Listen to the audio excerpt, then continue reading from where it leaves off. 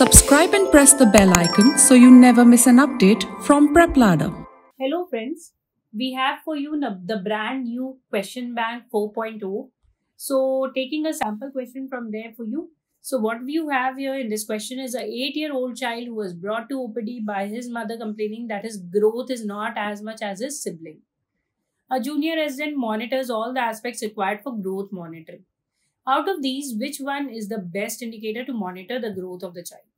Now, just mark the words in this question. We want to monitor the growth of the child. Okay. So we want to see how the child is growing, whether the child is growing adequately or accurately or not, as per, you know, how he should grow. So whether weight, a single time weight of the child will give you the clue, or mid-arm circumference, or rate of increase in weight and height, or head circumference. What do you think? So, you know, the one time estimate of any of the anthropometric parameters is not going to tell you much about how this child has been growing over time. So, the rate of increase in height and weight will be the best answer out of the given options, okay? Because weight, mid-arm circumference, and head circumference taken at any given point of time will indicate about what is the condition at that point. But whether the child has been growing properly or to monitor the growth of the child, that is not adequate. So at you know various intervals of three to six months, you need to see the rate of increase in weight and height of the child. Okay.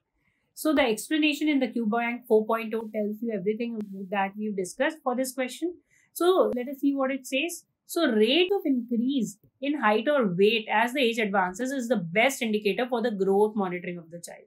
And one-time measurement, as we mentioned, does not indicate the rate of growth.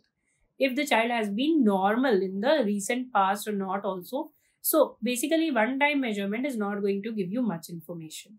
Serial measurements will provide the rate of growth for the child, okay? And plotting growth velocity, you know, there are some growth velocity charts which are also available. So plotting growth velocity is a useful tool for early identification of factors affecting the growth, okay?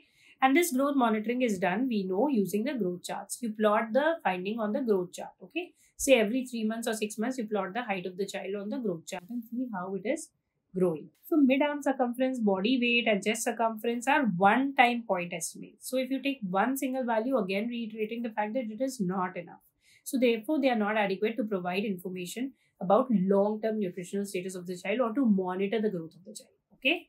So this is one of the sample questions. We have a lot, many more in this QBank 4.0 for you. So go through the QBank 4.0 properly reading all the questions and you know grasping out or filtering out the important points from the case scenarios provided so that you are able to analyze the question and you know come to the solution. Okay? So all the very best